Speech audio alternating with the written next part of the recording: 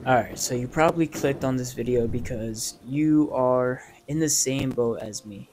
You've fallen in love with somebody who doesn't love you back, and it feels like this endless chase that will never end. Now, I've already um, made a video about my breakup story, so if you guys want to check it out, uh, definitely do. But it's pretty much I'm on like month three of my breakup uh, with this was like a three year relationship, and so far my healing journey has been pretty interesting. You know, at first when we broke up, of course I was going absolutely insane. I was literally like felt like my world completely ended. For two weeks after that breakup, I was literally just down in the dumps, just completely destroyed.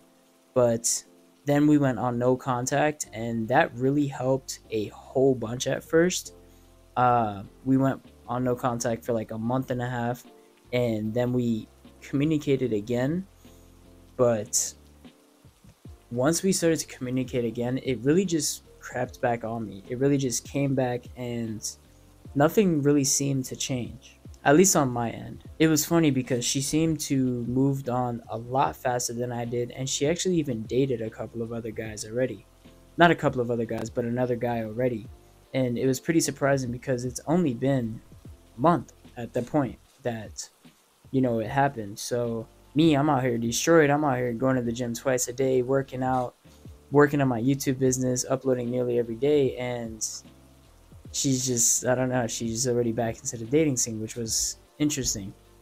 But yeah we came back from no contact. I had to like brush that off because i had to act like i healed.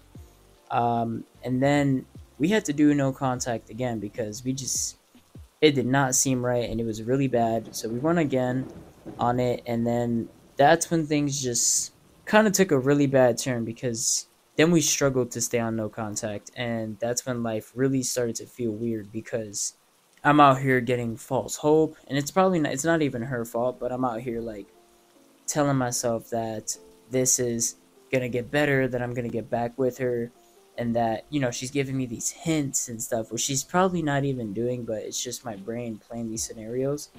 Um, but yeah every time we got off no contact i started to do those scenarios in my head just like playing these scenarios over and over and it still happens. And she's out here telling me about her dating experiences and her dating journeys and funny stories and i'm out here like bro i'm still not even close to over you. It's a weird feeling for sure because like i said it feels like an endless chase. It feels like you're you're, you're fighting this false hope that one day you're to get back together and you end up just embarrassing yourself in the process. But it's weird. It's almost like you don't care because that little glimpse of hope that you have is all that you hold on to throughout this whole process. Like she's telling me all these stupid stories about other guys and little does she know i would literally like do anything to to be back with her. So if you're watching this video and you're going through this, definitely comment your journey down below because I want to see what you guys are doing to kind of get over this. But the question here is why do I go back every time? Why do I continue to contact her? And why don't I just just block her? Just go on no contact. And I wish the answer to that was more simple, but as of right now on month 3, the only reason I could think of that is the false hope just one day thinking we would get back together. So I stick around, I make sure I treat her amazing, I make sure I do everything, I'm accommodating to kind of show her the type of man that I am. And, you know, obviously I am a good guy and she knows that.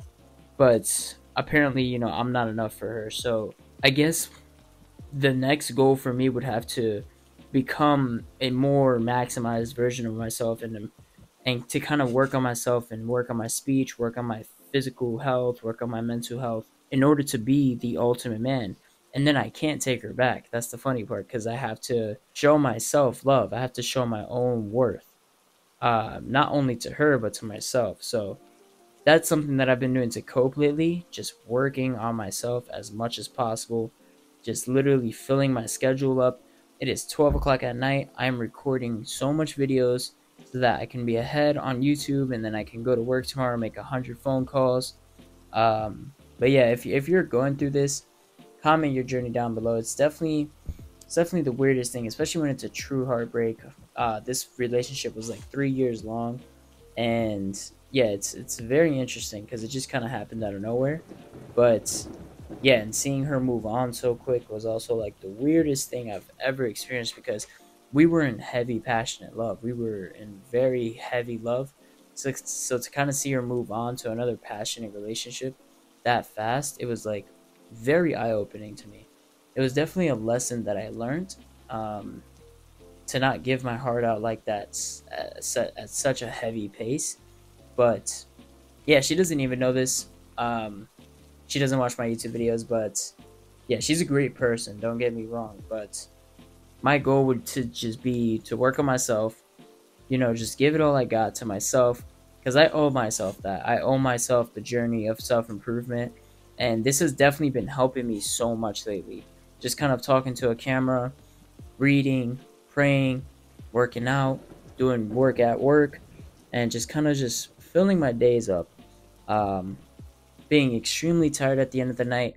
Even though I do need time for myself, I do need time to register this, but I've definitely made a miles of progress, a mountain of progress so far. So I'm definitely very happy with where I am right now. And I definitely am in an upwards trend to healing. But guys, just know that you're not alone, especially if you're going through heartbreak.